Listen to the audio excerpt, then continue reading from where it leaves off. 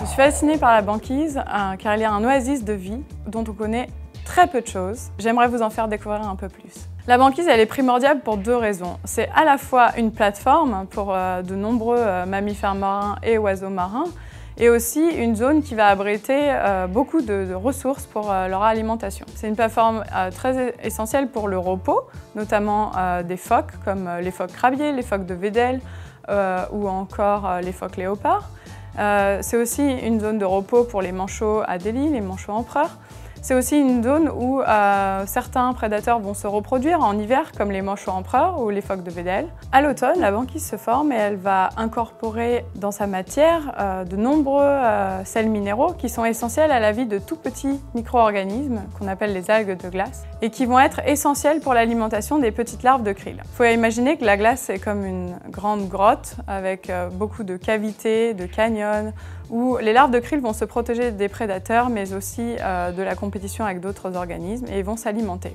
En hiver, la lumière va être totalement réduite sous la banquise et donc euh, ces larves de, krill vont euh, s'alimenter sur euh, les petits minéraux et les algues qui sont présentes dans et sur la glace. Au printemps, lorsque la glace va commencer à fondre, elle va libérer toutes ces algues, la lumière va être de nouveau présente et donc euh, l'ensemble euh, du krill, les larves et les adultes, les crevettes, vont se nourrir sur cette explosion de vie. Cela va permettre aussi de nourrir de nombreuses espèces, notamment des poissons, et aussi euh, majoritairement des prédateurs comme les mammifères marins ou des oiseaux marins. Il n'y a pas que sous la banquise qu'il y a euh, un oasis de vie, il y a aussi des zones particulières au, niveau de la banquise qu'on appelle des polynies côtières, qui sont en fait des zones libres de glace. On appelle ça des trous d'eau qui sont très très grands, qui sont créés par des vents très forts, qui vont pousser la glace qui se forme en continu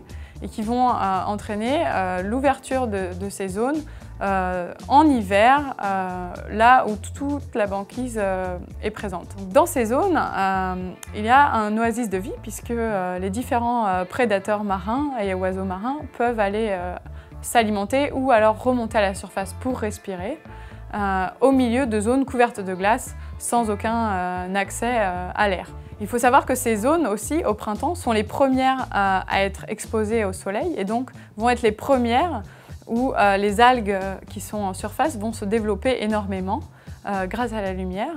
Et donc les, organismes comme les poissons et les prédateurs marins et oiseaux marins vont aller s'alimenter dans ces zones euh, privilégiées avant que la glace fonde.